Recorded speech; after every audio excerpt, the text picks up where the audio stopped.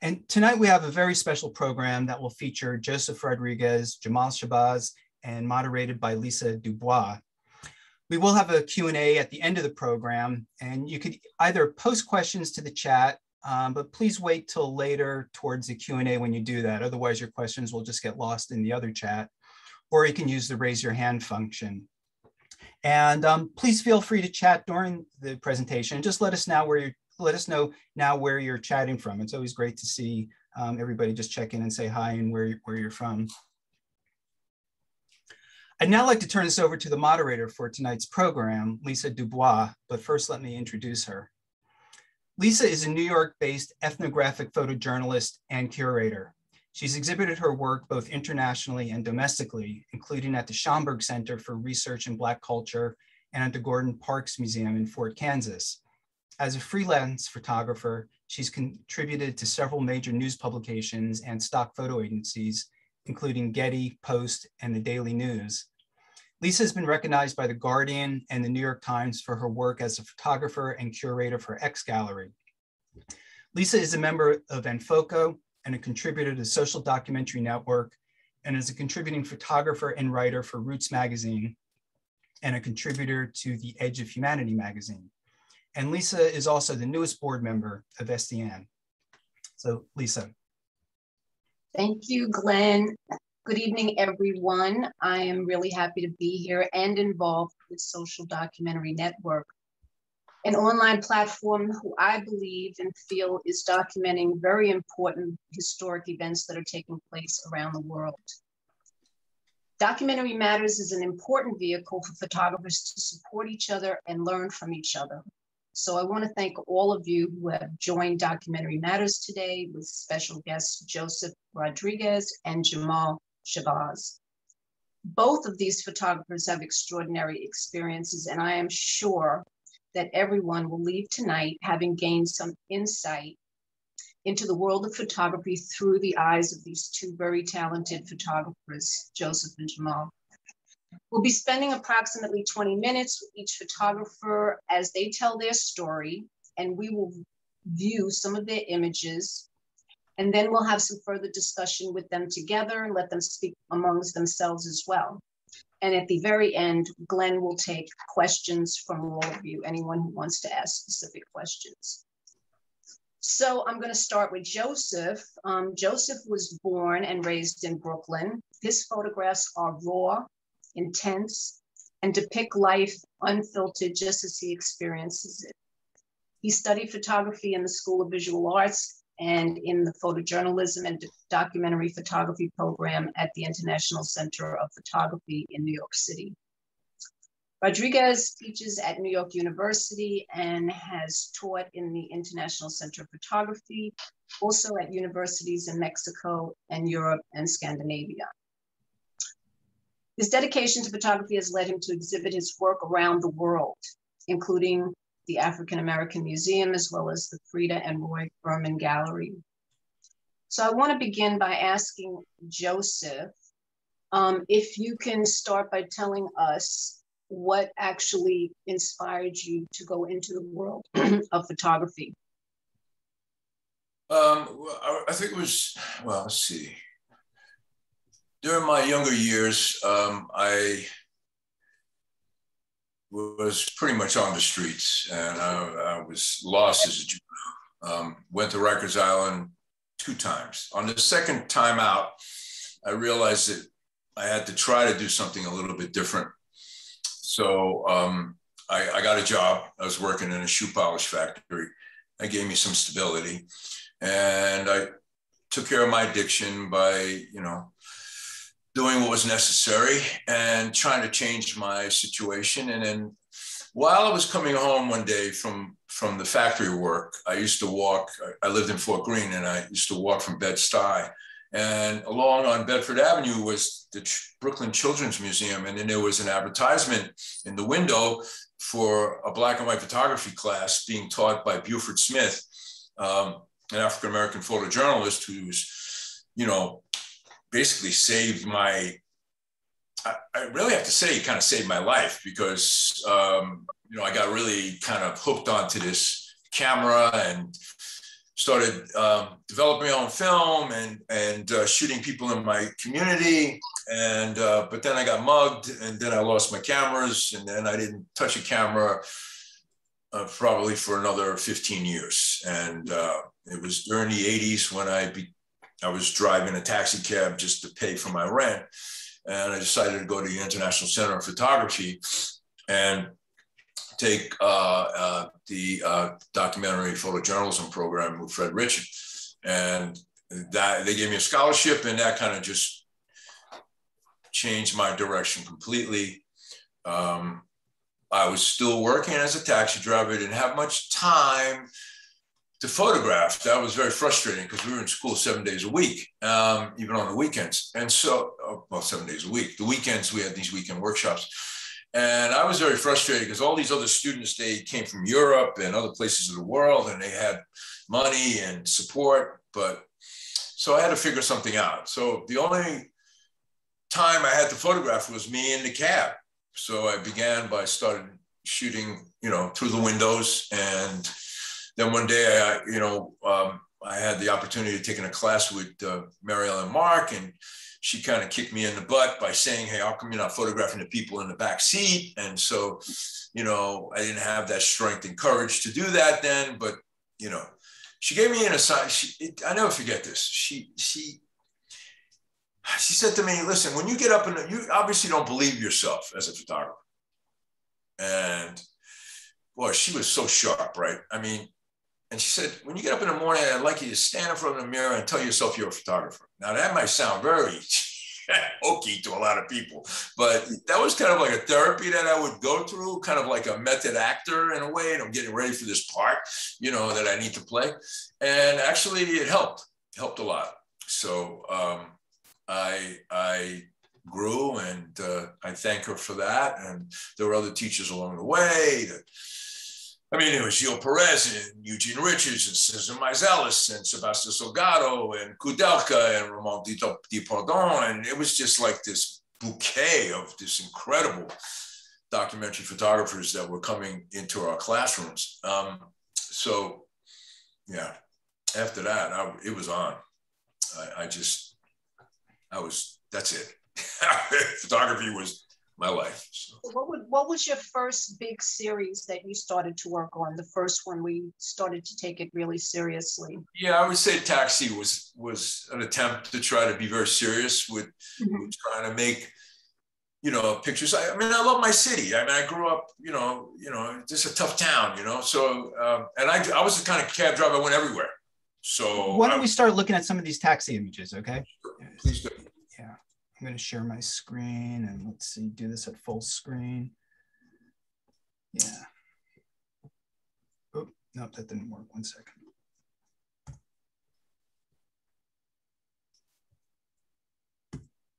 Actually, this didn't take us, let me go back to the beginning. Okay, want to refresh that? Yeah. Maybe, yeah. Um, so I'll, I'll, I'll, just give you a little debrief. So I was the kind of cab driver that would drive everywhere, all five boroughs. Because when I was a kid with my mom and we were trying to get a, a cab from Williamsburg, nobody would stop for us. There was only one car service out here. It was called Black Pearl, and mm. they were run by African American drivers. And you know, so I, I was open to everybody. You know, and so I wanted to sort of, you know, explore my city so from the Bronx to Staten Island, Staten Island, Brooklyn, Manhattan, you know, even out to Jersey, you know, there I was taking pictures. So um, I, I, felt uh, it could be an interesting look. Uh, also, as a, you know, there's so many street photographers in the world today. I think to photograph the street through a car window is probably one of the coolest things that photographers can do, right? Hmm. Really, yeah, I remember that I met a, a, a, photographer out in LA who in Los Angeles, you know, here we take the subway and the buses, but there they drive on the freeways. And there was this photographer that was shooting people stuck in traffic. And the work was incredible. I don't know, I think he made a book or something. And, and that kind of always kind of stuck in the back of my head as, as to what I was trying to deal with as I was driving. But, and also I learned the, uh, uh, I learned a lot about us people, human beings, because that yellow box that I'm driving in was was like a little bit of a psychiatrist office. Everybody had a story. Everybody wanted to tell you something, you know. I bet. Yeah. Did you ever think that you would be discussing these photographs that many years later and with people all around the world?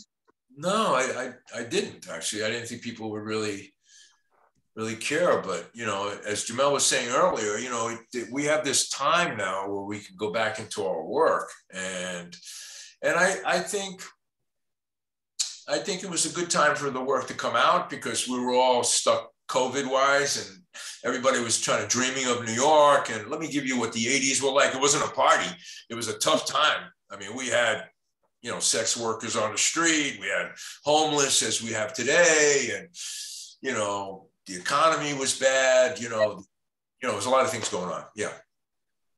So um, I just, you know, felt it, lived it, you know. I got my I got my my my black radio station on in my cab, and I'm driving, and I'm and I'm just you know just checking out the city. And so um, sometimes you don't know what you're making when you're making pictures. You really don't. You don't know. It's like Cartier-Bresson said would always say, you rediscover your work when you go back to your contact sheets. Mm. And that's what happened that's exactly what happened. You know, a couple years back, I started looking at taxi and I said, well, is there something here? And I started remembering the stories, the backstories. Like, you know, there's a there's a picture of this African American family in, in in the taxi cab, and you know, right before I picked up that family, you know, I, I had two gay men in the back seat trying to have sex in my cab. I mean, it was just like the most bizarre kind of like thing that could happen on an early Sunday morning. And then you know, here comes a breath of sunshine. This African American family's going to church, right? So I was like, oh, wow, this is so beautiful compared to what I was just looking at. So, um, but that's the city. You know, we're, we're the naked city. We got a million and one stories here, and everyone does have a story, that's for sure. And the next um, series that you, that you were, that you focused on after that? because I don't know what's happening. When I, when I, graduated IC, when I graduated ICP in 1985, I, I, I, began working at Black Stars, the photo agency, as a researcher. And so I, I, I was studying photography even more there and looking and seeing what photographers were, were, were kind of stories they were making. And I began uh, my own personal series in Spanish Harlem. And I used to go up there on the weekends I, you know, I had a budget of two rolls of film. I was shooting Kodachrome slides, so that was very challenging. Uh, but that that project turned into a National Geographic story. Story growing up in East Harlem, May 1990, cover story, proudest day of my life. So, excuse me, Joseph. Uh, somebody just told me that they're not seeing my full screen; they're just seeing these slides. No, I'm only seeing small pictures slides. Well, yeah, I, we, we just we're looking at. Uh, I see a screen that looks like uh, like uh, a bridge screen, right? Is that what yeah. you use? Bridge, right? Yeah. Yeah, and I'm showing. Um, okay, I went to full. I went now, to full now, screen. Yeah. I can see it now. It's good now. You can you can see it all now. Yeah. Okay. So, sorry about that. All so right. Spanish home was was was you know it, it was close to home. I, the reason why I started photographing Spanish Harlem was um, we already did a project in school called the gentrification of East Harlem. It was nine students. We had a multimedia project that we that Fred Ritchin had us had us do. But uh, I was personally affected by the media that I would see every weekend. Every every week every weekend I would read the papers and it was oh baby thrown off the roof or fires or nothing but tragedy. And I I knew I knew that there was tragedy and poverty and crime, but there was also a family and there was also religion, there was also culture. And so that's where I began to start to think about, you know, there, you know, there are a lot of great photographers out there and, you know, and they're, they're telling their stories the way they should see it. But I wanted to speak about how, uh, and I wasn't even thinking about an activist. I just wanted to show people what else was there. Yeah. On this image, can you tell us where what was happening at this time? This is, this is Monique. Uh, she um, was pouting actually. She was a little upset. Mom wanted, mom said, No, you're staying upstairs, you're doing your homework. She wanted to go outside. And downstairs in that building was 24 hours drugs being sold. So it's very dangerous kind of block that they lived on. She was very upset with having to stay, you know, and do her homework. And so she was just pouting in her room. This is not a setup. I didn't push the doll there or the teddy bear there. This was her. And the only thing I asked is if she don't look at me, I asked her to look out the window. And so, right. Yeah. The color's amazing. Mm-hmm. And uh, yeah, you know, aquí mi pueblo, you know, I mean, it's just, it's about what the neighborhood is. I mean, it's, you know, people, people love it there. You know, it's, it's, it's, uh, yeah, just a lot of warmth there. I mean, there's tragedy, but there's warmth and family and family, like the Rodriguez family. I know them still to this day. I'm still close with this family. Hmm? And that's this like 35 years later. Hmm? This is a beautiful image of this family. Mm-hmm. Mm-hmm. Yeah, it's the cover of the, the, the latest book, El Barrio in the 80s. This one, the one with all the children? Uh, yeah, the one with the children, the Friday night cards. Yep, absolutely. That's that's the cover of of the, the newest. Beautiful, beautiful image. Now, you wouldn't know that this family was going through some horrific time. There was drugs being sold. Peter's strung out on crack and heroin. Mm. We got him on methadone. That's great. And the family was split up and the kids were born and we're still connected to them. But, uh, you know, there's something more that I needed to show uh, of an addict right? I mean, it's so mm-hmm. easy to photograph somebody with a needle in their arm or a pipe in their hand and photograph them in their in their worst hour. And I've seen that work so many times. But you're not going to tell me that an addict does not have love in their heart, that an addict can't love their children. Yes, I mean, uh, we know the stories and all that. That there's some people who shouldn't be parents. I get that but but this was something that was extremely important to me being an ex-addict that i knew. Every time i would see these other photographers photograph these communities they always came back with the same kind of image. Glenn move on. let's let's look at some of the other images. Sure. This is great. Listen that was a birthday party so everybody was just in good spirits that day. Yeah. This is the image that i was mentioning of the tell us a little bit about the Spanish yeah, birthday party for Peter's, um, uh, one of Peter's family members, and everybody came. And inside that white, inside that little bar, that place right behind him, was where the birthday party was. And uh, so it was a little tight. So the family came outside, and you know, we had some food outside, and people are in good spirits. and music is pumping. That's the only thing we can't hear right now.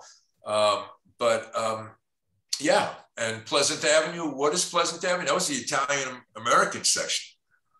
You know, I can tell you, you know, if everybody remembers The Godfather, and you remember that one scene when they were trying to bring heroin into the, into the neighborhood, they're talking about East Harlem, and that's a fact. That that narrative inside The Godfather. Anyways, Sunday mornings, I used to go up on Sunday mornings. Why did I go up on Sunday morning? That was the only time I really had uh, and and I had a strategy. My strategy was, see, most of the criminals were sleeping Sunday morning, so like I could walk around and be a street photographer, and not have to worry about my camera. So. And the light is so great at that time. Early, yeah, early right before sunrise because exactly, that's really, yeah. really good, or stay out later in the afternoon. It was important for me to light. This picture I waited two years for. This picture, very important picture for me in my life with my family. Because look at the picture on the stoop. First of all, that's how we lived our lives, right? And it's similar to Helen Levitt's pictures of people on the stoops back in the day. She shot in the same community. However, we're all the fathers. We're all the men. Mm. Right. You know, honoring my mother is what this picture is. Honoring my aunts is what mm. this picture is about. Yeah. Oh, are we going? Are we going to talk about this now? Or yeah, we, we got five minutes. Well, let's talk about LAPD, this. A book yeah. we just published uh, most recently this year uh, with uh, the artist edition in Copenhagen.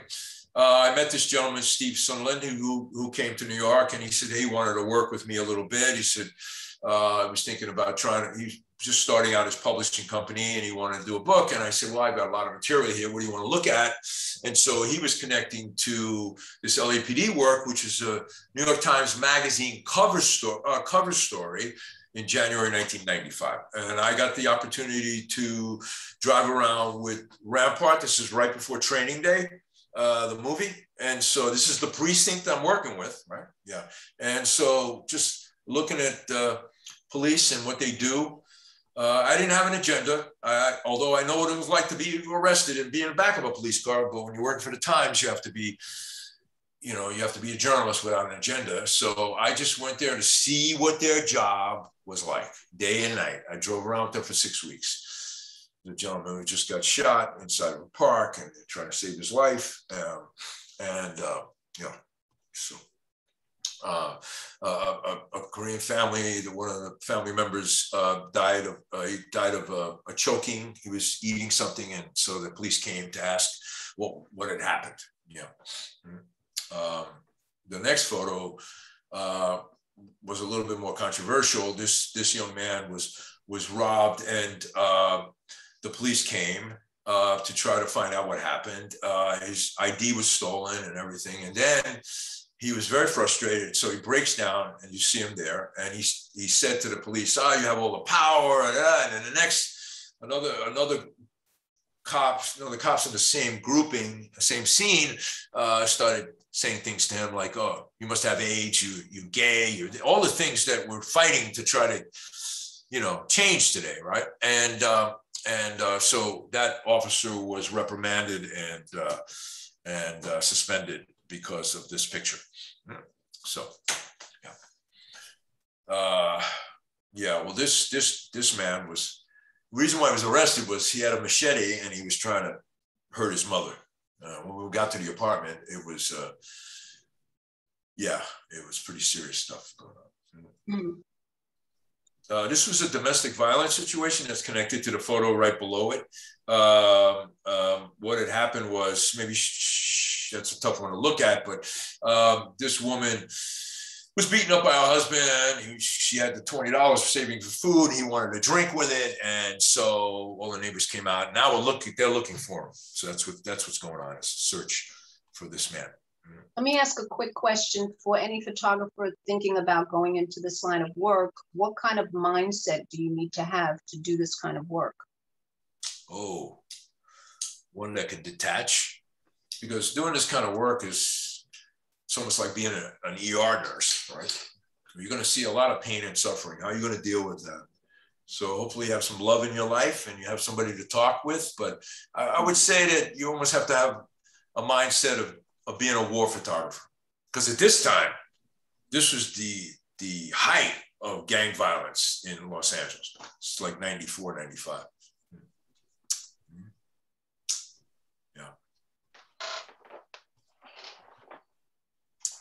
Here they're going into a hotel that uh, there seems to, they're looking for someone wanted for murder. So it was a squat and they were going inside. I mean, I, I have to give it to, it's not easy being a policeman. I mean, I'm, you know, I've been stop and frisked here twice, right? By these great stop and frisk police, uh, simply because I'm Latino. So I know what it's like to be stopped, but to do this job every day is, is very hard. It's a domestic violence situation. So, hmm it seemed to be the main call that was happening. And the next one would be more community policing, basically. So you have a black and brown officer who is very familiar with those guys behind them. There's a whole gang, couple of gangs in this neighborhood, right? In those projects. So they make their presence known and they're on foot, as you can see. They're not in a car, right? So they know these guys by first name. And it's very different than the policing that you see today, where they just come in and, you know, yeah, very different approach. It's the old school cop on the beat approach. Yeah. Hmm. So that's a little bit of uh, what we what we've done. Both both of these books: Taxi, Journey Through My Windows, and LAPD in 1994. We put out during COVID this year, so we're quite pleased that we were able to put those books out. Um, and and we're going to share your information. So your website right? You have a lot of information there for people, which is we can get, you know, our Instagram is is popular, Rolly six by six, or you know, joseph josephrodriguez.com. You know, people. I'm I'm an open book. I'm like Jamel. They can find us real easy. put our names out there. Yeah. Okay, so we're going to talk um, about Jamel and talk with Jamel on his work, and then we will come together and you two can talk, you know, amongst each other, and maybe we join in as well. So Jamel, Jamel was also born and raised in Brooklyn, and he is a member of the legendary group Kamoinge. Jamel's bold vision and fearless approach and his belief in himself led him to publish his first book for Powerhouse Books. Jamel's photographic career was officially established in 2002 with the debut of that first book back in the day, which includes Jamel's unique street photographs. This was a time during the emerging hip hop era um, in New York City between 1980 and 1989. Another book in 2003, The Last Sunday in June, is from a collection of 10 years of photographing the Gay Pride Parade in New York City. Sights in the City in 2017 contains work from four decades of photographing people in the city. In 2020, Metro contains photographs made between 1980 and 2018 of people on the subway. Jamel's photographs are recognizable by his unique style that he is very well known for. In many of his images, he chose to focus on love and unity between people it may be interesting later to hear him discuss how he was led to do that type of uh, style. It could have something to do with his work as a correction officer. So we'll hear about that. Um, Jamel's work has been exhibited worldwide, and he has been a guest speaker on various platforms like Photo Plus Expo, drawing very large crowds just to hear his story. And he continues to create new books and interesting projects nonstop. So, Jamel, I have a few questions for you. Um, and then we're going to look at some of Jamel's photographs. Um, so, Jamel, can you just begin by telling us a little bit about growing up in the 60s and what impact it has had on your photography career in general? Well, thank you very much for the introduction and, and thank you, um, Social Documentary Network and um, Silver Digital for producing this pro this very important program here. But I am a child of the 1960s, and it's that time period that really shaped and molded me as both a person and, and a photographer. You know, I grew up in, in, you know, I was born in 1960, so I was coming of age during the civil rights movement and the war in Vietnam. And those two events really impacted me greatly because you know watching it on tv and looking at different publications that were coming out on a regular was informing me what was happening happening in my environment. Mind you i wasn't being taught any of this in school you know so i became quite disenchanted early on uh, and what's important to note is that my father was a professional photographer and he had converted our two uh, bedroom apartment into a studio on weekends oftentimes photographing our neighbors and family members. So I grew up seeing the power of images being made in real time. And uh, my father had a vast library of books. You know, he had a, he had a subscription to Playboy magazine and a host of other publications that were coming in the mail on a regular. And I read everything early on. You know, before my parent, my parents weren't even, weren't even aware of the fact that at this young stage in my life, I was searching for answers. And it's in these various publications that I start to have a better understanding on on what was going on in the world. And, and again, none of this was being taught in school. So I'm learning about Vietnam from Playboy magazine. I'm, I'm, I'm learning about Malcolm X Martin Luther King and Lincoln Rockwell from reading these publications. Um, and it really did something to me in addition to Life magazine. So before we had the internet, we had, you think about it, Life magazine, National Geographic, and Playboy. So these are the, the, the three publications in which I was studying on a regular, searching for answers. And at the same time, I'm seeing the, the, the power of photography in, in all three publications, in addition to all of the photography books that my father had. He had a vast library consisting mainly of war photography. And it just captivated me early on. So I would go through his entire library, looking at every photograph, reading every book. So before I even physically picked up a camera, I developed a profound love for photography.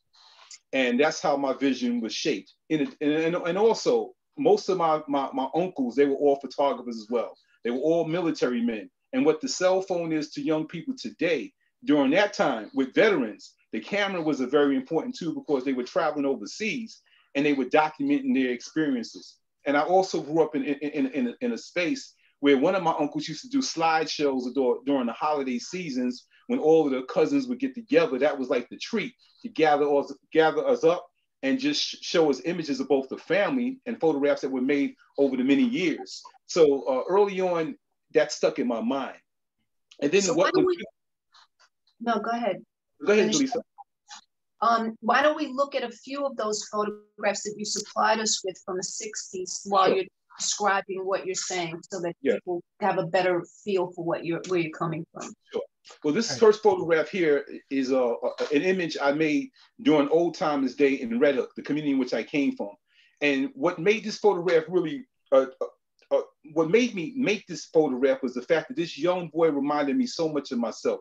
This particular street is a street that I traveled on around the same age, and it allowed me to explore my community.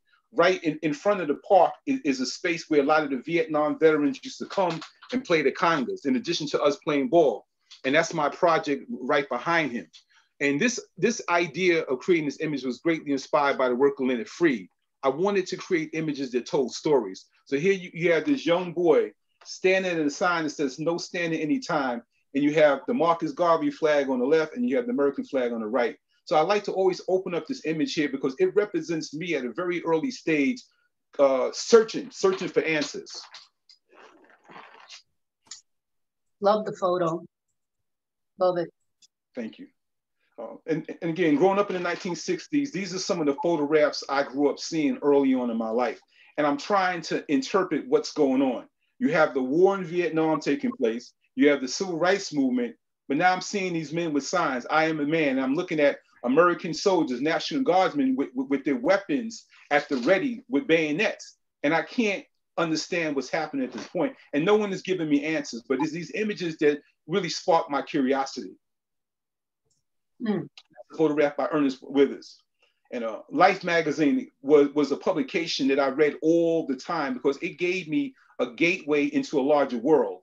So I always found myself just going through Life magazine as a young kid. You know, the, we had a library in the community. And I would spend a lot of time there. When I uh, ran out of public American publications to read, I started going into, into the foreign publications such as French Match magazine and German Spiegel magazine because they gave me a broader understanding on what was going on in the world.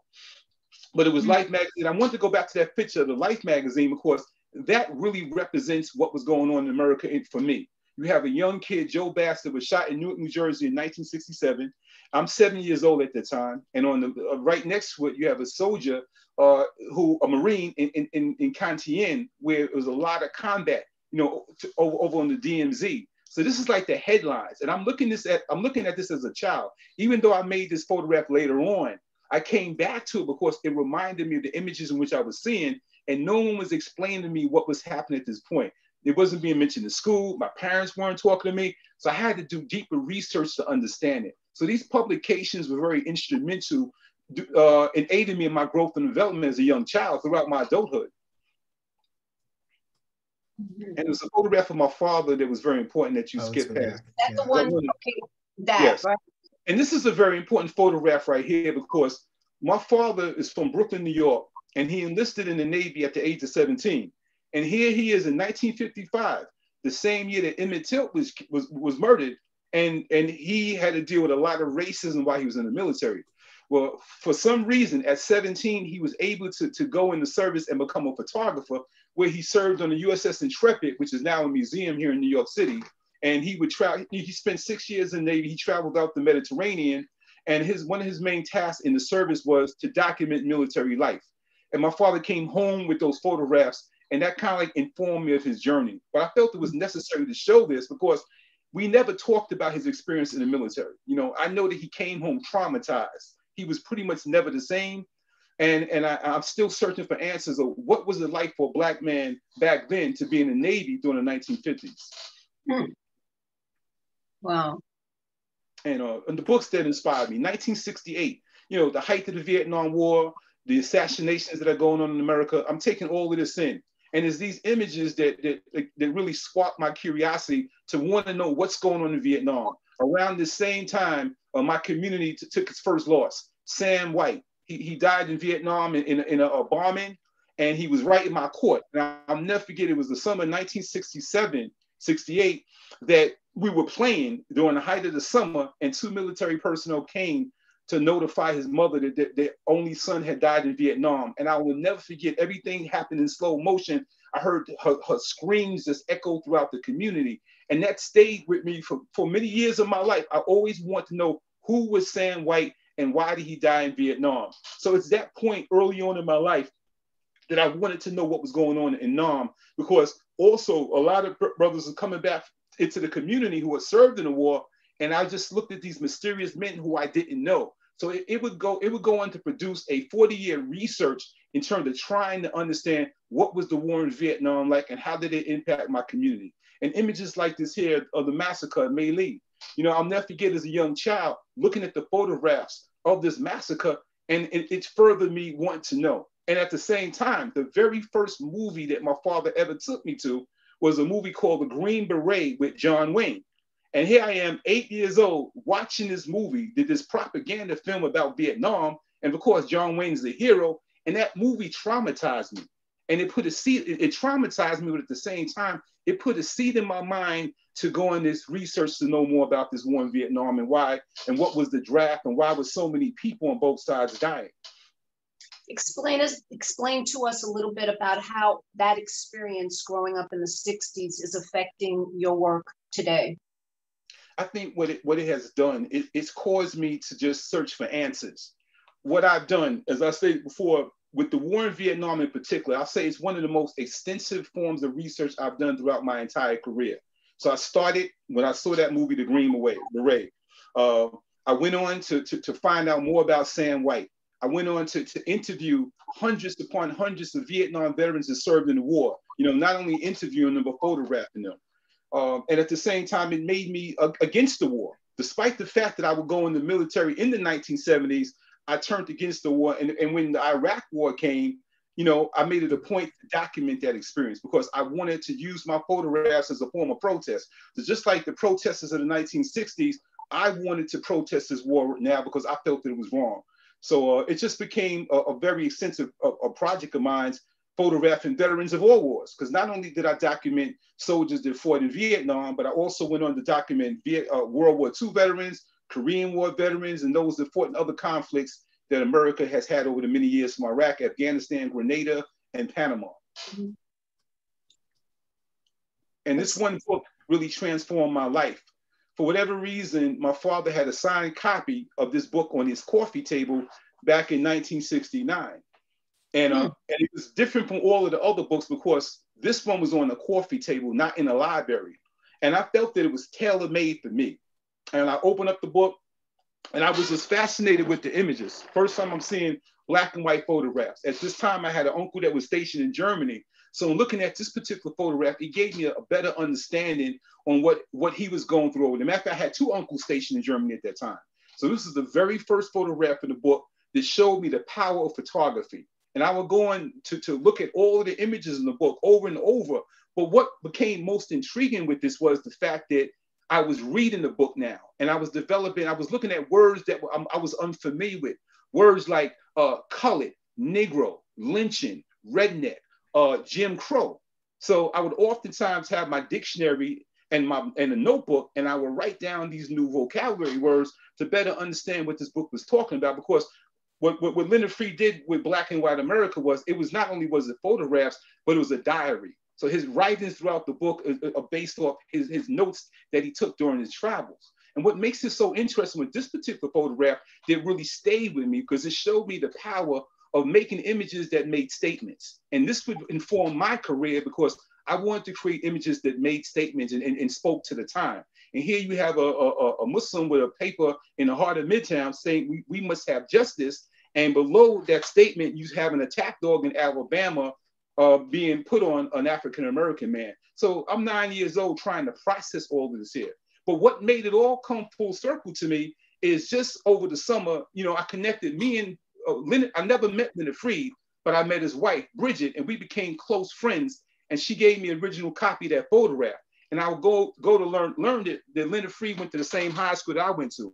So it's a very interesting path that I've been on in regards to the influence that Leonard Freed's work has had on me over the many years. And this is another photograph that was uh, the one that you just passed was in the book. So it has opened up my world to, to a, a, community outside of mines. I saw Harlem for the first time in this book. I was able to see the Jim Crow South for the very first time. This is the second cover of the book. And the reason why I shared this one, because uh, the young boy is called Muscle Man, Muscle Boy. And I, I felt that this book actually gave me muscles. This book gave me insight and strength because it almost served as a roadmap to me growing up in black in white America. You know, it was very, it, it, actually became the number one book that would guide me on the path that I'm on right now. So I owe a great debt to Leonard Freed. And this is one of the photographs I made inspired by Leonard Freed. So I, when I started to uh, make images, I wanted to capture images that told stories. And when, when, when going back to Leonard Freed's work, all his images had statements. So this is this is one of the first images I made when I came home from the service, one of the very first. And here you have a sign, if it concerns you, it concerns us. To the right, you have more than sickness, uh, light skin and black bitches suck. So I wanted compelling images that is one thing to shoot uh, the man who, who's laying down, but when you add the other elements in it, it, it creates a deeper narrative. So I wanted all of my work to just speak. This is another one that was inspired by the work of Leonard Freed. You know, I'm in Harlem, and one of the things that my father taught me is carry your camera with you all the time, have the cap off, have it set properly, and just always be observant. Yeah, that's an amazing picture. All of these photographs were inspired, just, just decisive moments. This is at a march in Washington, I believe, in 2004. And it's just something I saw, and I just felt it was it was just a, a moment that needed to be documented.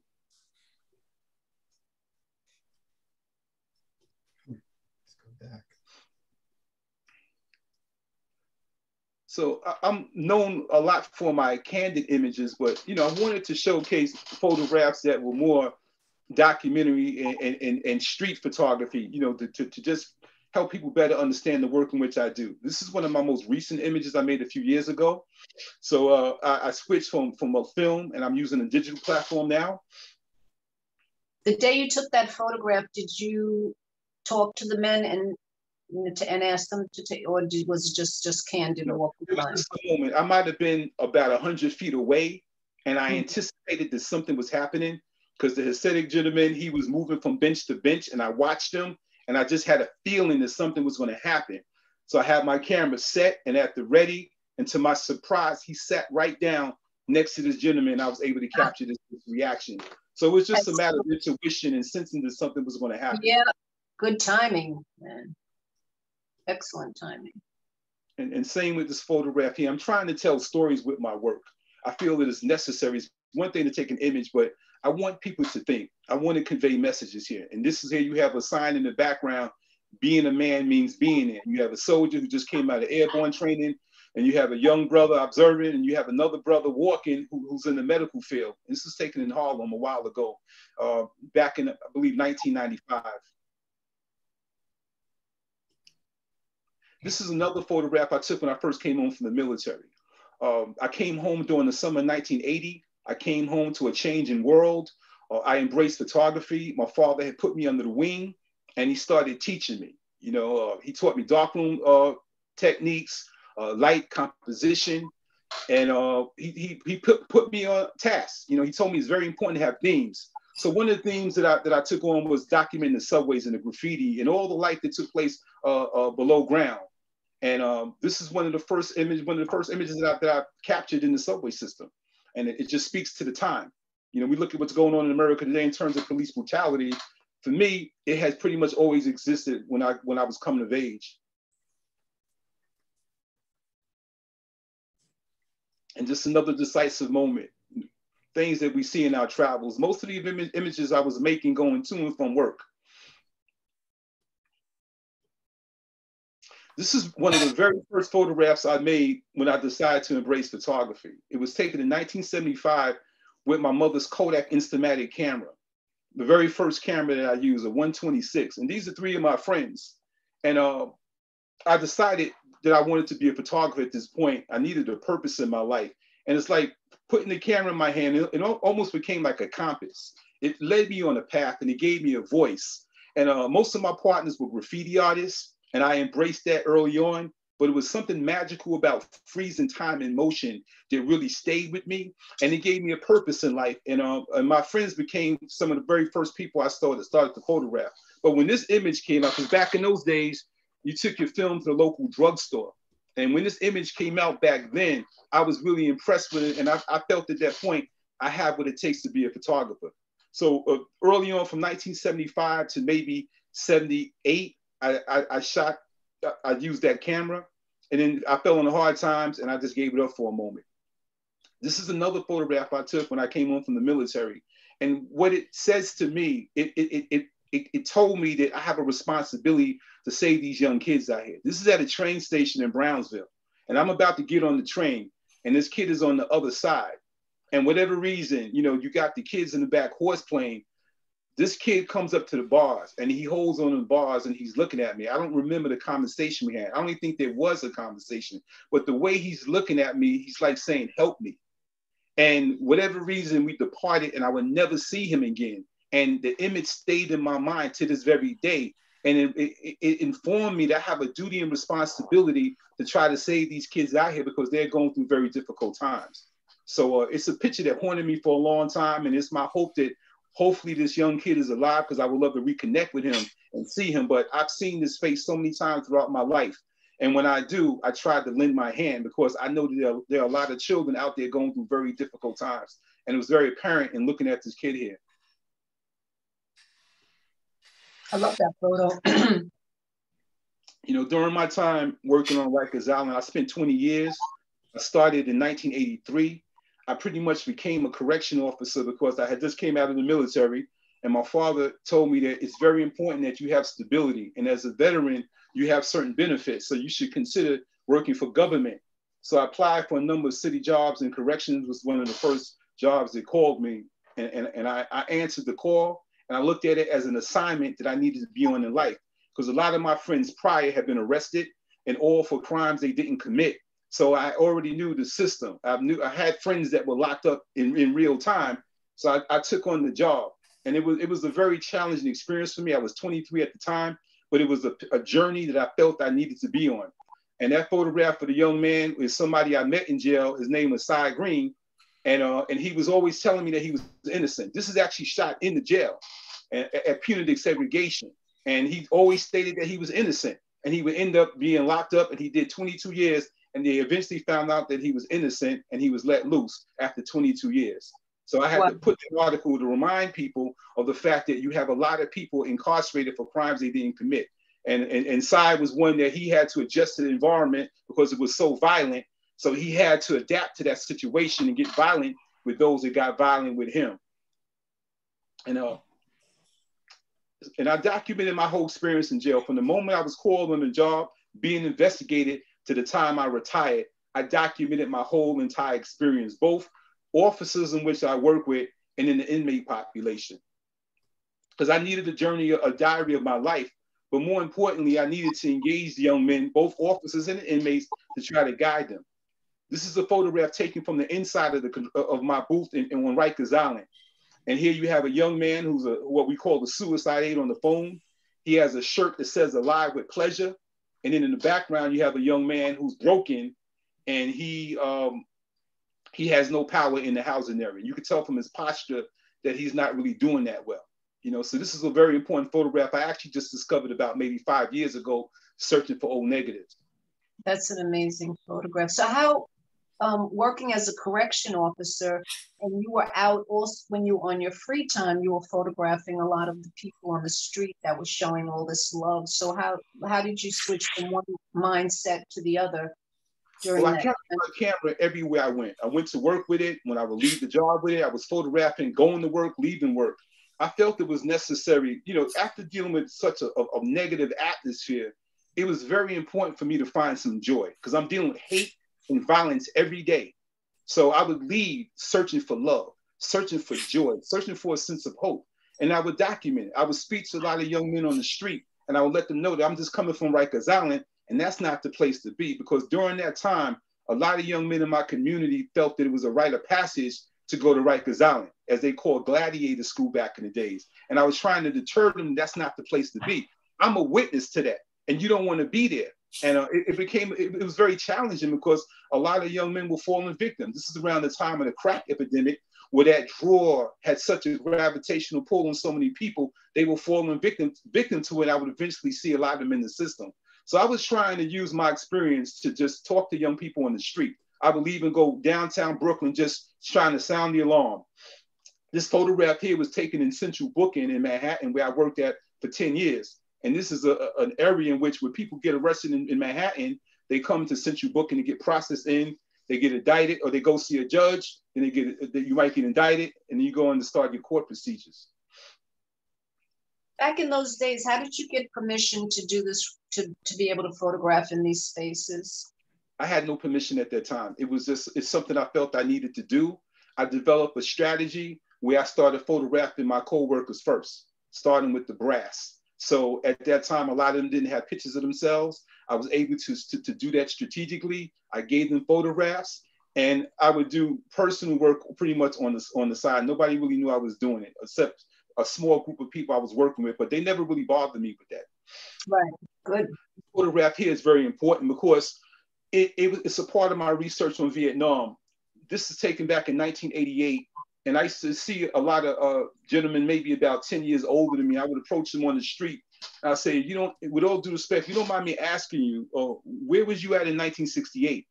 And on this particular day, I was coming from work and I saw this guy, uh, Terry, and he he was intoxicated. And I asked, I was on the phone and I asked him, if you don't mind me asking, where was you in 1968?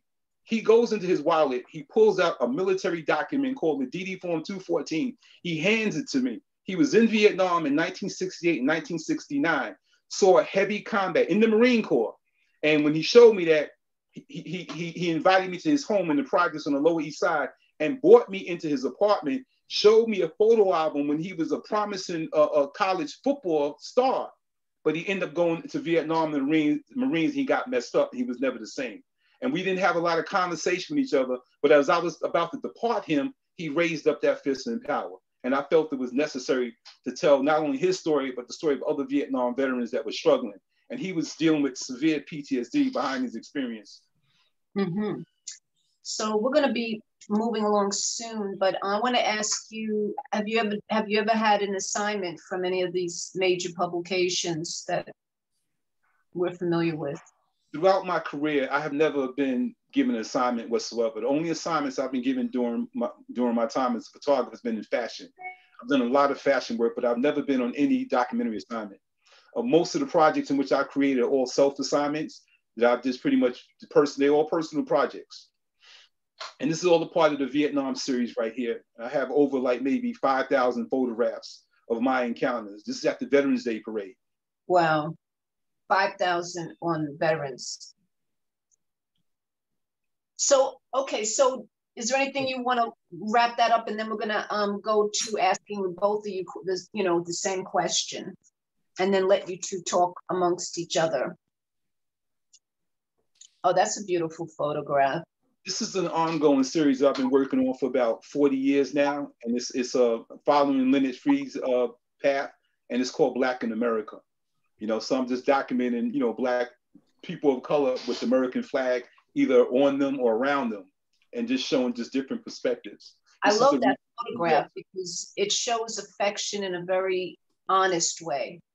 Yes, and they're you two know? soldiers. In my conversation, I will find out that the young woman, she's also a soldier. And this young man was preparing to go to Afghanistan. Mm. Uh, one of the most okay. difficult days of my life, you know, 9 11. So uh, I was, I happened to be there that day and I would spend a few days just documenting that experience. And out of that, you know, I, was, I captured this photograph right here of a fireman who's just taking in, in the day of everything that had happened. This is later on, on September 11th. You know, we are dealing with search and rescue and it's just, it's at a point of almost hopelessness at this point. And this hmm. fireman just fell back and he's just taking in everything that happened. And I just felt the need to just freeze this moment in time. Hmm. Wow. So, um, I do have a, so I have a question for Joseph and Jamel. And then each of them can answer the question and then maybe have a discussion about it between each other. So both of you more or less have had your careers founded on photographing within your own communities, like in Brooklyn, Spanish Harlem. And I would like to know how is that different and how important is that working around people that you know um, as opposed to moving into a different community? Like how do you how you know how does it differ? Being in your community and photographing people that you feel comfortable around and and then going out into a different community. And one of the reasons why we're asking that question is because um, a lot of people don't understand the power that they have I mean, you understand, you both understood the power that you had. Maybe you didn't realize it at the moment. you understood, you know, the familiarity that you had in the areas that you were photographing. So we'll go Jamel first and then hear from Joseph. For me, it made sense to really start in your community first because that's where you know the people at. For me, I knew everyone, and, and back then you knew the parents. So there was always subject matter.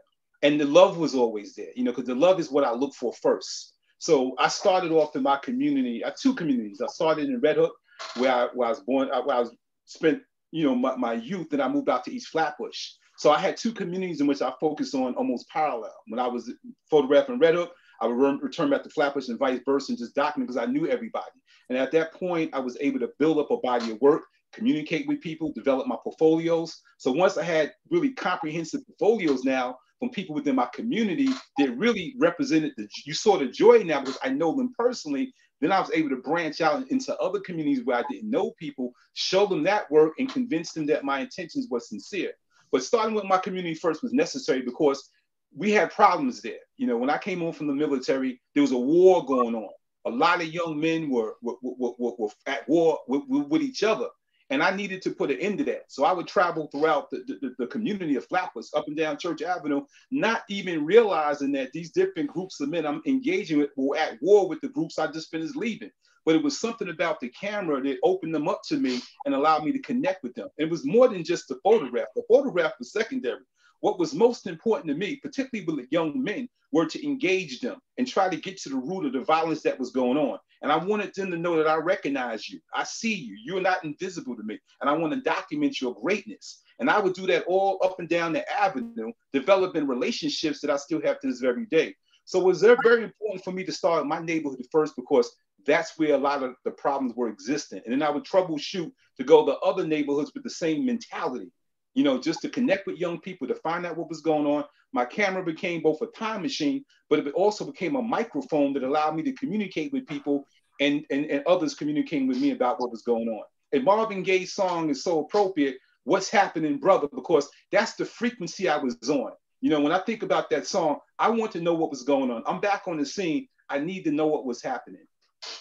Did you uh, did you develop a certain technique when you were out in the streets to get people to warm up to you?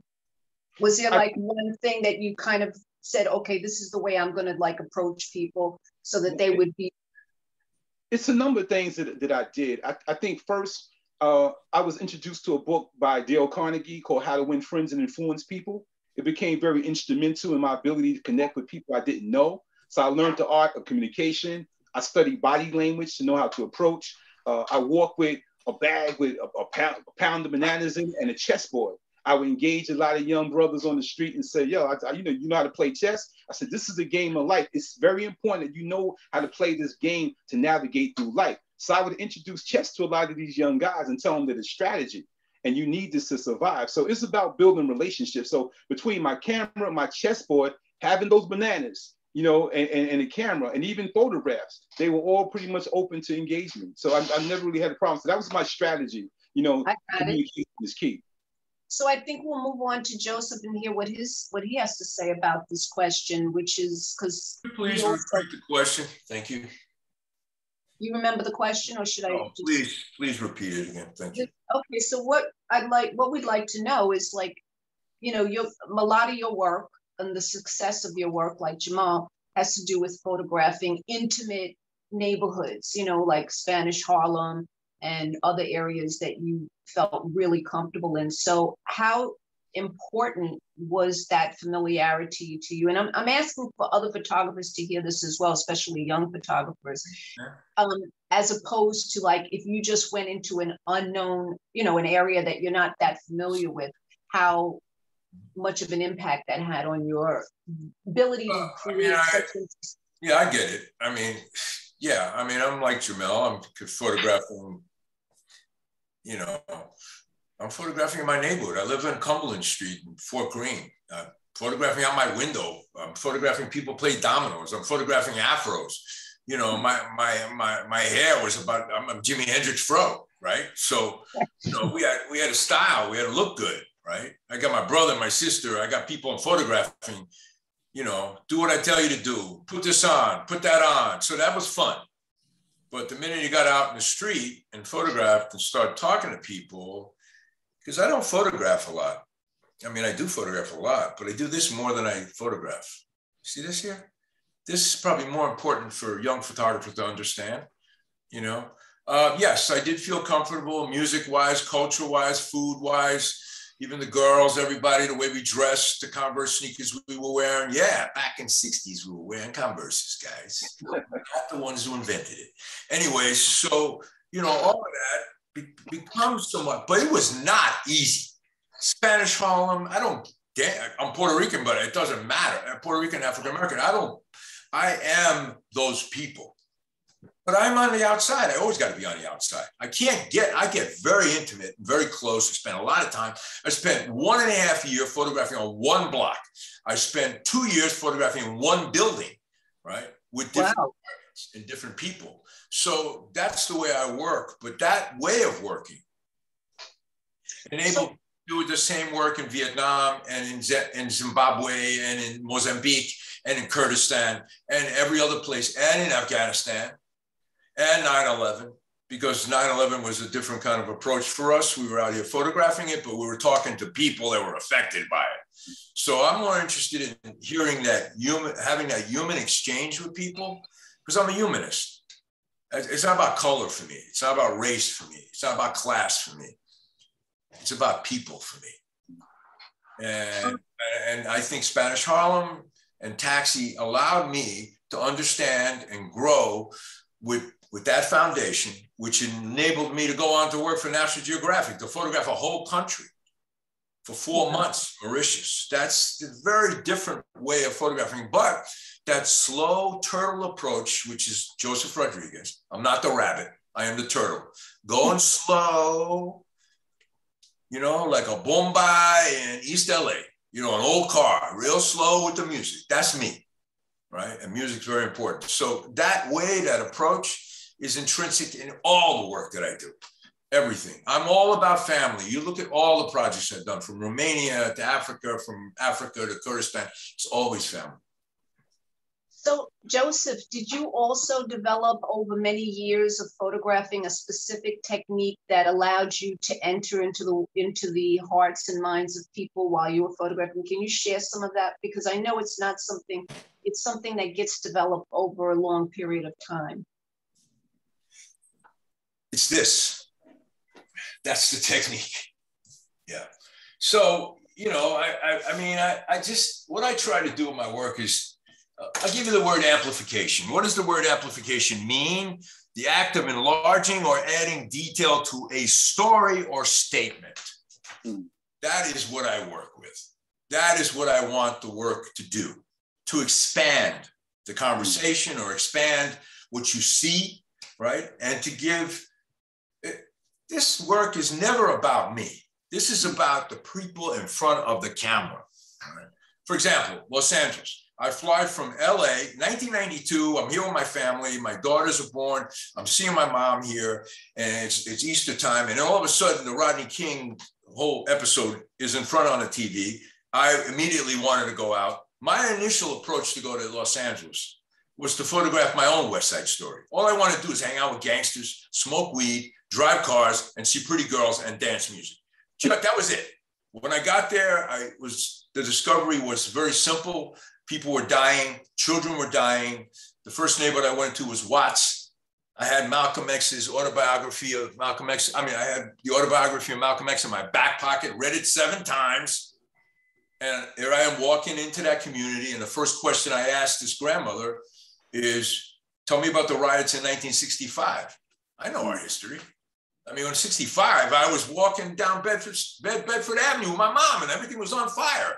Malcolm hmm. X, all this stuff is there. So, you know, I come at it as a journalist with the five W's who, what, where, when, and why. That's how we start a conversation. But I know my history. So people appreciate that. Plus, you know, music similar. So we're listening to Marvin Gaye. We're doing our own thing. I'm, I'm eating fried chicken with them. You know, I mean, I do a, that's how I work. I don't, if I, if I have an assignment that's different, I got to go in, I got to get to work and, and leave. You know, I just spent six months photographing Uber drivers here in New York as an ex-taxi driver. So, you know, I, I, I, I think time it's not about who you are, what color you are, and where you come from, your class. It's really about time. And if you have that commitment to sit down and listen to people the way I have at the kitchen tables with so many families, families that lost children, people that were being shot at, and, and mm. praying with them and eating with them and going to quinceañeras with them and going to hospitals with them. That's mm. the field work that Joseph Rodriguez does. You just see the pictures. So mm. you just go like, oh, wow, that's cool, whatever, you know the hallways in Spanish Harlem, the nights. You know, what do you do when you have a five year old that comes up to you? What do you do when a five year old comes up to you and says, Hey, could you be my father? Hmm. You know what that feels like? In this horrific environment of crack cocaine and garbage and rats and bullets and dead people and cops and arrests, and a five year old comes up to you and says that to you. Now, I didn't have a father. I did, but you know, who knows where he went. But you know, I had a, st- a stepfather who was a dope fiend, right? So that was my those were my models, right? And so this kid comes to me, and I cried that night. That's why I have journals. I got about six journals from Spanish Harlem because those voices bring me to those living rooms. Gotcha. That's so it. I think we're going to open up so that anyone who wants to ask a question um, can do so and we can elaborate on anything that you've already discussed. Um, Glenn, are you ready to um, see if there's some questions that need to be Sure. If um, love to hear from the audience. Uh, if you have questions or comments, um, you can put them in chat, or you could use the raise your hand function in the reactions button at the bottom of your Zoom window if you raise your hand, I'll actually call on you and you'll ask the question. If you uh, put it in the chat, I'll, I'll just read it from the Gary. chat. So uh, let's give people. Gary, somebody used to. Give people a second. Anybody? So we, yeah. got a good audience out there. There's over 75 people. So clearly there's some uh, comments on this interesting discussion. Okay, I see a raised hand by Jasmine Smith. Um, Jasmine, why don't you unmute yourself and just go ahead and ask your question. Hi, hello. My name is Jasmine. I am a student at Bard. Um, I don't have a question. I just have a comment. Um, and it's more so just thanking both of you gentlemen for sharing your story and being so involved in our culture. Um, I admire that. That's one of the reasons why I'm back at Bard as a non-traditional student to, you know, be able to spread our culture and in in an enlightening way um, so I appreciate being able to have this experience and listen to you guys as hardworking men coming from where you come from. Um, I can relate to that. And I think it's beautiful what you guys are doing. I don't have any questions. Everything you guys said was very heartfelt. So I just wanted to thank you for your time. Um, and, and I look forward to looking at you guys' work more. This is my first time really digging into photo history and observing, analyzing the way I do now. So I appreciate it and I thank you guys. Thank you. Thank you. Thank you, Jasmine. Jasmine. Hey, Lisa, this is Jewel. How are you? Hey, Jewel, how are you? Doing well. I'm doing well. I basically you made a point to be here. I haven't seen you in so long. I like the hair. I want to say hello to Jamel because Jamel is one of my mentors, and I've learned so much from him through the years. And I just basically want to say thank you for for all the talk and for everything, for all your guidance and everything that you've helped me with. And even you, you know, our talks and all the things that we've done. And like I said, you know, coming in, I started photography, you know, as a way of like sort of getting back. You know, I was going through some personal issues and I picked up the camera and that was basically sort of like my outlet. That was like kind of my therapy and, you know, we don't know the rest. And I just basically kind of want to thank the people who kind of helped me move forward in what I do today. So I had surgery, you know, I'm not going to talk long. I am um, doing well, and I just want to say hello to everybody. And I just basically want to thank everybody for their stories. And I was sitting here taking notes, and you know, and Jamal knows, you know, I'll probably be reaching out, asking some questions. but I just basically say thank you so much for you know everything that you've shown me and, and all the time that we have. I've learned so much over the years, and I really much love to you. Thank you, Thank Julie. you so much, Julie. Thank you. It's so good to hear from you that you're out, and I'm so glad your surgery went well too. Yeah, Thank we'll talk. You. Exactly. Yes. Be in touch. We'll talk. Thanks. we have a question from Carrie Mason in the chat. Um, Carrie has a question similar to what was discussed before with a slightly different angle to it, but why isn't it, is it important for people from a culture to be able to tell their own stories? And either Jamal or Joseph want to take that on because where'd you go joseph because because this book here will tell you my friend everything about us hmm. okay mm. when you see this book this book will give you our history back when we had slavery we had our own newspapers mm. latinos had their own newspapers Filipinos had their own, African Americans, I mean, African American slaves had their own newspapers, but then they were cut down. And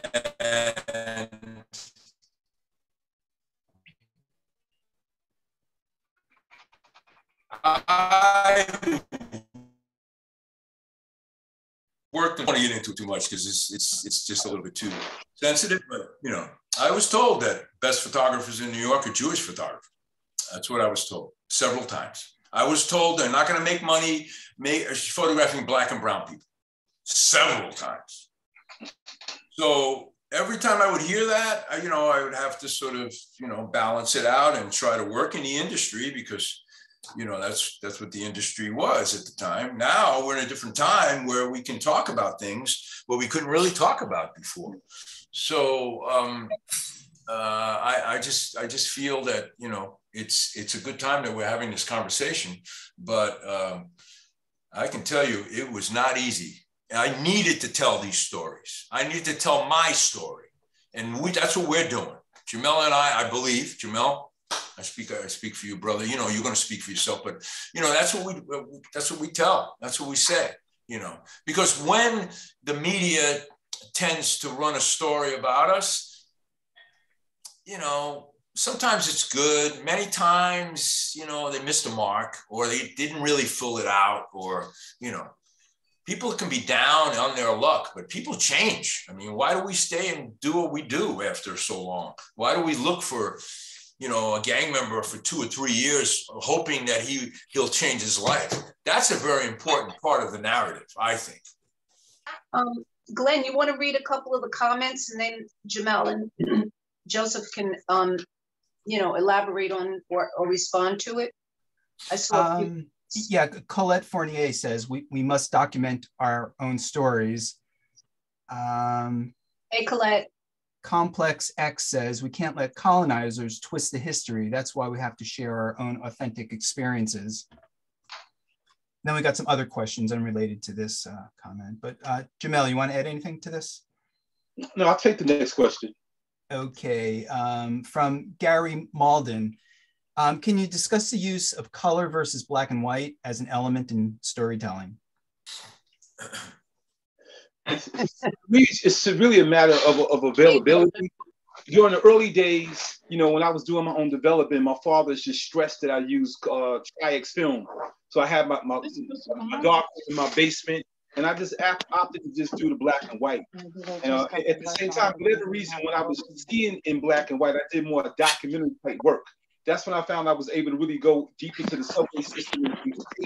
some of my better work. It's just something about it. I can't even really explain the distinction between the two. But it's like when I put black and white film in my camera, my eye just start to see things totally different. And oftentimes during the early 80s, unlike today, you can make this Photoshop and just, you know, with different apps your camera.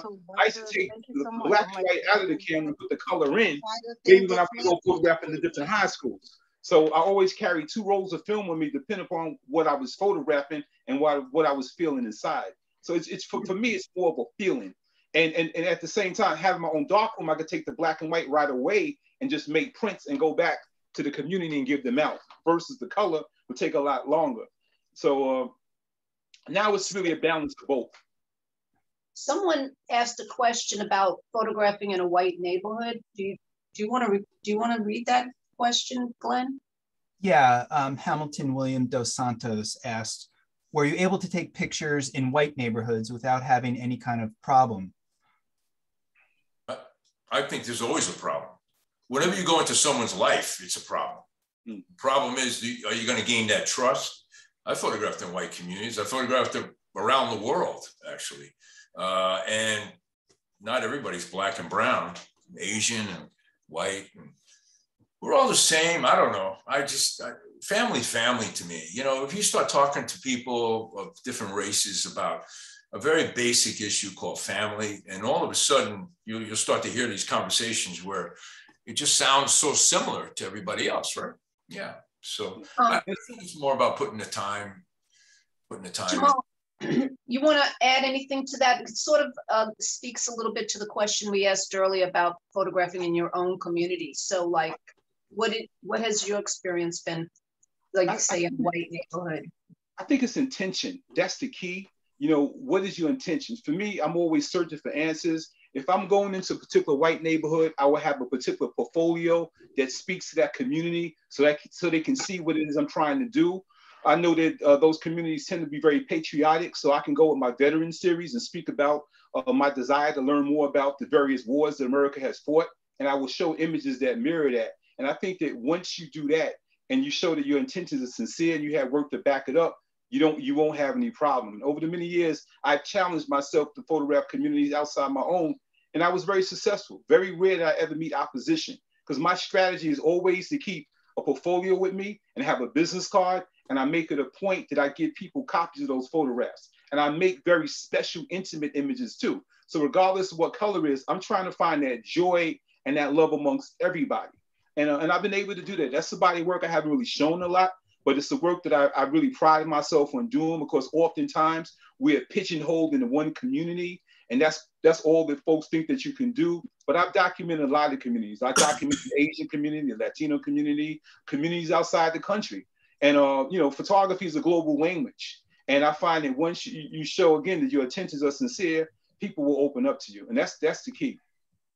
Len, you want to read some of the comments I've seen from people? Yeah, well, actually, we have a hand raised, and I always like to call on people to ask their own questions. Um, Michael Young, why don't you unmute yourself and ask your question? Hey, Michael.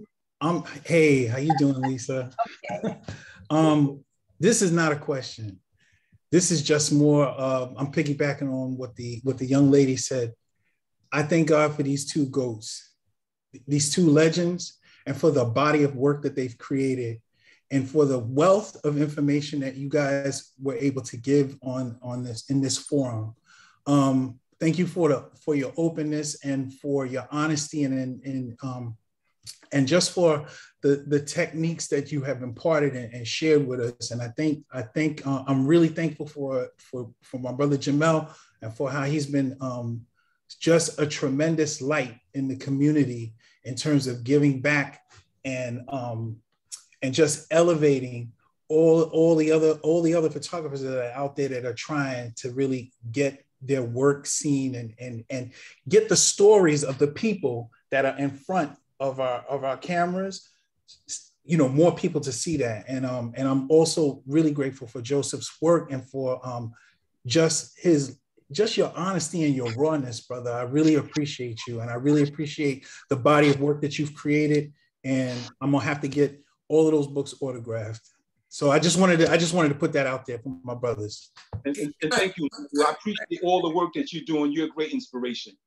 Thank you, sir. Thank you. Thanks, Can I, can I just add something one second? I want to respond to Michael because you know Michael's friend of mine on, on Instagram. What's up, Mike? Um, I just want to tell you something that I think really helps me. Because if you look at juvenile work, you'll see Joseph Rodriguez, woo, like you've never seen before. Being transparent about one's own struggles may help to ease the stigma.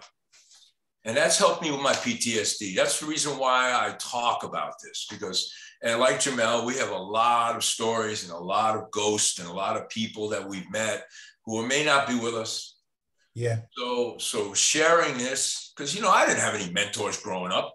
I didn't. I didn't. Wasn't. Please, are you serious right now? I had gangsters as mentors. So you know I we are mentors. Right. And that's, what I and that's what I really appreciate about the fact that you both did not have that access, but you make yourselves available to those of us, and we can now benefit from that. So I'm really grateful for the two of you being in my life. Well, good. Don't forget to make me some fried chicken next week. I'm coming over. All right. Uh, I'm, I, I, uh, we'll see. We'll see what happens.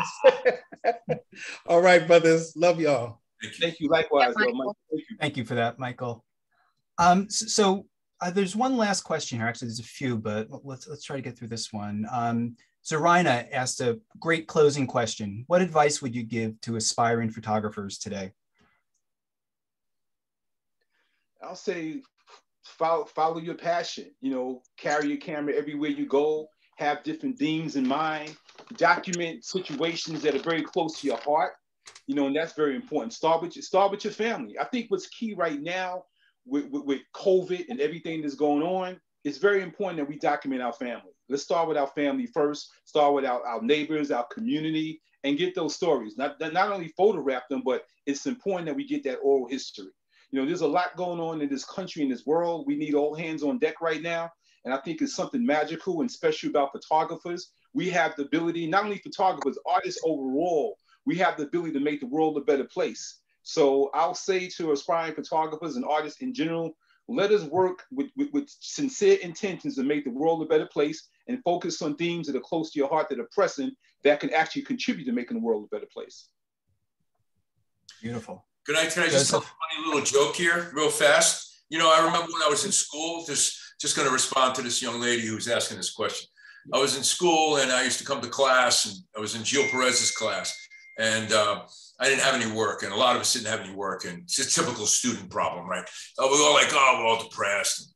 And Gio would sit there with his feet up on his legs on, on the desk with the New York Times in his hand. He'd go, you should. And he, and he would say, he would say, 10 rolls of Tri-X. And you would say, oh, I don't, 20 rolls of Tri-X, meaning keep shooting. You'll find your voice. Keep shooting, and you will find your way. Hmm. All right. Um, well, why don't we bring that to a close? That's those are two great closing statements. Um, Lisa, you want to add anything else? Um, no, I just wanted to thank everyone tonight for coming and participating in Documentary Matters. And I hope that in some way, each person who listened in was inspired um, by the talk tonight. And I look forward to seeing new work, people maybe come uh, submitting some work to doc, uh, Social Documentary Network. Well, thank you for that, Lisa. Thank you, Joseph. And I want to, excuse me, I'm sorry. And I want to thank Joseph Rodriguez, and yeah, I met him. Hey, Joel. Hey, I figured I said, let me say, say hello. I haven't seen you guys in so long, and you know, I don't come into the city that much, you know, only because of COVID and stuff like that. You know, I, am off and on, but you know, like I said, once you know I'm over things, you know, uh, you know, hopefully I'll be back, and you know, can't I look forward to kind of seeing everybody. I really miss everybody because you know I'm not I coming miss, in. Miss you too. I don't know. We I there's other questions coming in, but I don't think I don't know if we have time. Um, yeah. Well, I mean, we could, um, you know, it's 8.30. We usually stop at 8.30, but, you know, if people want to keep talking, we can. There's an interesting question from Kenneth. What do you say, Lisa? No, I said you want to go on for another five or 10 minutes at least? Sure, I'm game. And, you know, people need to check out. We totally understand that. But, um, all right, so we have a question from Kenneth Aston. Uh, Kenneth, Kenneth, you want to uh, unmute yourself and ask your question? You there, Kenneth? Okay. There he is. Oh, we lost him. Um, I see his. I see his. Well, I saw his picture, but yeah, you, Kenneth, we can't hear you, but you're not muted.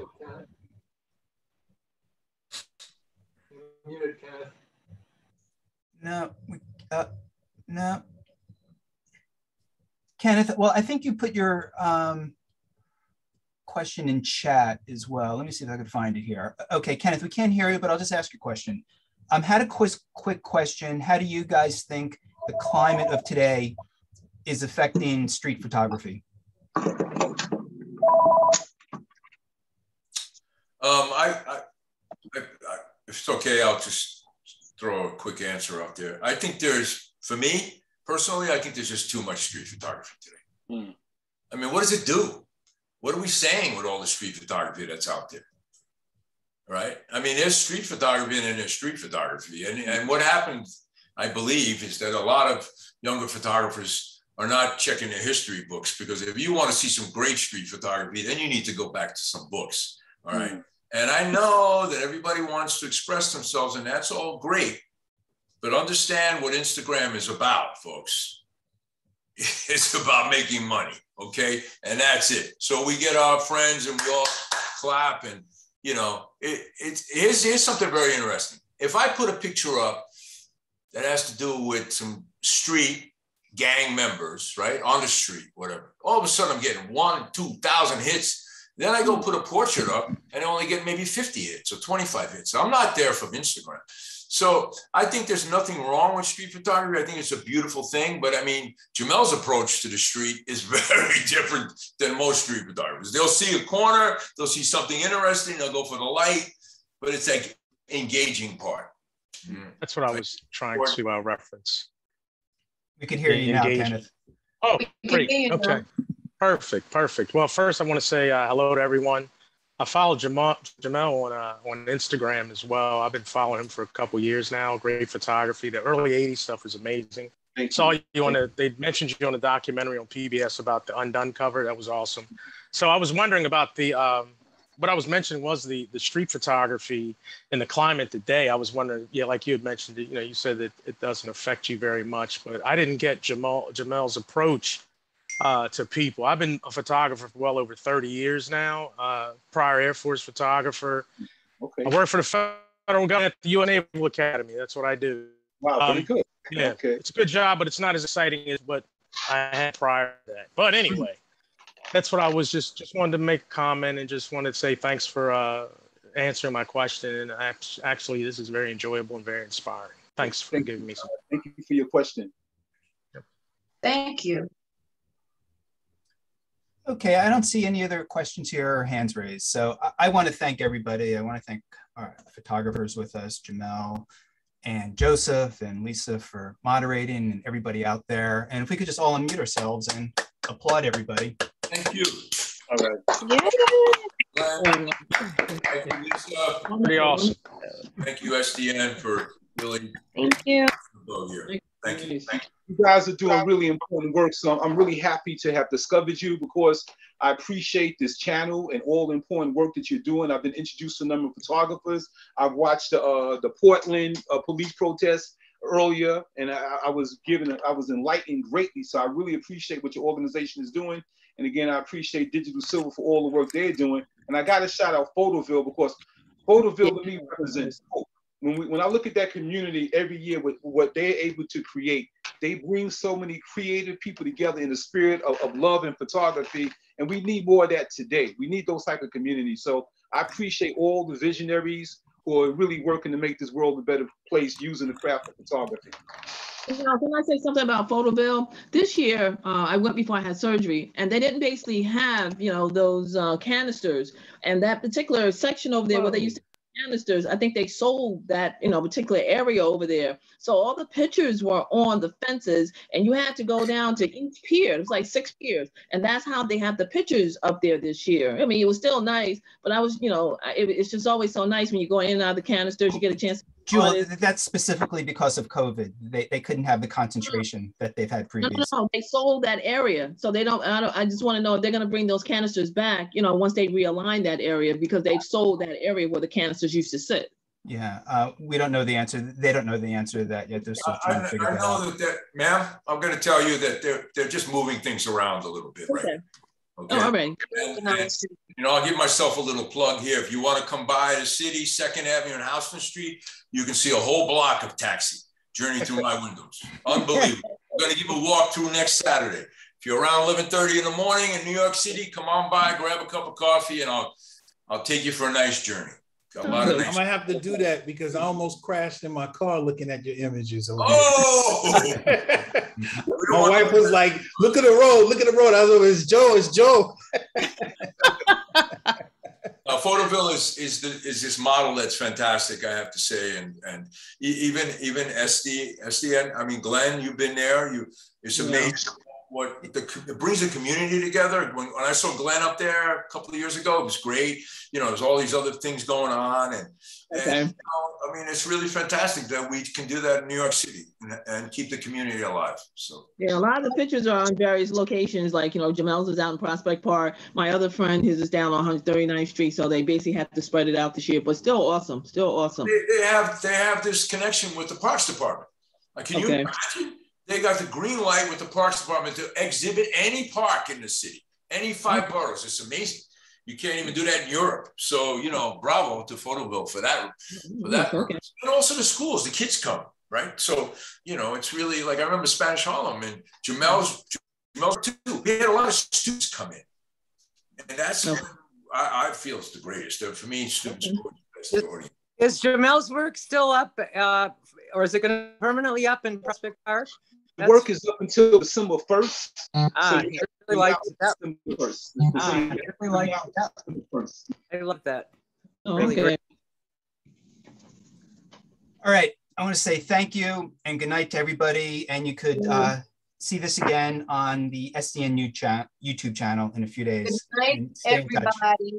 All Thank right. you very much, Lisa. Thank you, guys. Thank All you, right. Glenn. Thank you. Jamel, love you. All right, Yeah. All right now. my brother.